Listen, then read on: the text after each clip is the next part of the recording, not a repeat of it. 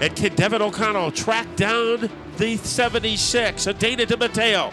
They hustle down the backstretch. DiMatteo still in command, two turns away from victory. Off the turn, Devin O'Connell has reeled him in, but not enough as the checkered flag is out. And Dana DiMatteo will take down the win. Devin O'Connell will finish in second. Oh my God, I've been waiting so long for this. It's been a while. Um, just got to thank uh, Island Cove Marina, Manafort Brothers, J&J Racing, uh, FK Rod Ends, Papa's Dodge in New Britain, uh, Jags Tires, Waddell Communications, 600 Engine Shop, Sign Pro, DCI, um, Joey Muchacharo, Frank Muchacharo, all my family for coming out tonight. Uh, I just got to thank everybody, man.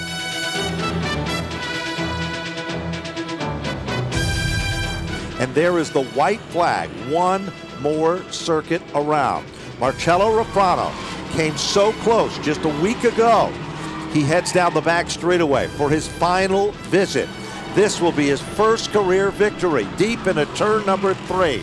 Marcello Rufrano, the Mr. Rooter machine, the Wheelers Automotive car. Marcello Rufrano has done it. He will take down the win. Zach Robinson to finish in the second spot. And rounding out the top three will be Tyler Trott. You know, this is a way overdue win. These last couple of weeks, you know, the last lap, I was looking in that mirror too much before we went on the race.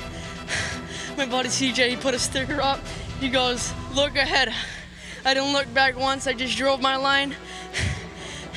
Had an amazing car, I had a great setup. Right before we went on the track, quarter out on the toe, fixed that up, came out. Victory lane, baby.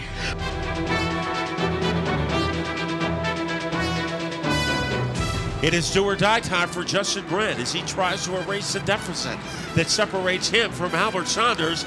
And Saunders is able to cannonball his way into turn number three with a healthy lead over Brent. They come off turn number four, lapped automobile. Ladies and gentlemen, double checkers are out. Albert Saunders has done it. Brennan for second. And a great run for Paul LaRoute to finish in the third spot. Yeah, thanks. Uh, Barry got another awesome setup in the car for tonight. Uh, the car was really good. He made some great changes after practice. So uh, I was off to kind of a rough start the last couple weeks, so it's pretty good to get uh, second last week and another win this week. So uh, it's really cool. Car was awesome.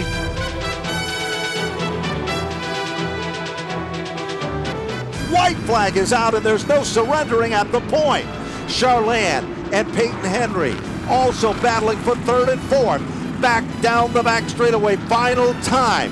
Kopsick still trying to hold on. Beaujolais is there, Matt. Turn three. Beaujolais trying to make a move. Kopchik protecting the lead. They rumble off of turn four. And it is Kopchik who holds off Beaujolais to get a breathtaking win. Oh yeah, that was awesome. That was really good racing with Beaujolais, and it's nice to see he's got a fast car and he's he's really fun to race with when he's when he's right there. Um, uh, this is awesome. First win of the year.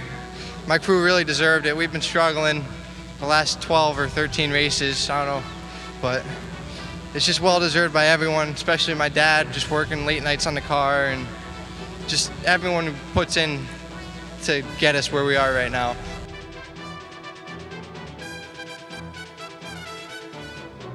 White flag is out. Will this be a coronation for Ryan Preece? Ryan Preece heads down the back straightaway. Like days of old, Preece is back in winning form here at Stafford. Into turn number three, Ryan Preece has done it with back-to-back victories. The checkered flag is out, and Ryan Preece will take down the impressive win. Yeah, it's uh, it's owed all to my my crew, Mike Paquette. You know, he, me and him were setting the car up on Thursday nights, and you know we have a lot of fun doing it. And, and you know this whole team, it's real close knit bunch of guys, and you know my father and and Mike German and uh, John and Don, my girlfriend's father, my girlfriend here for supporting me. You know, uh, this car was real good tonight, and it's only going to get better. I'm real happy with these guys.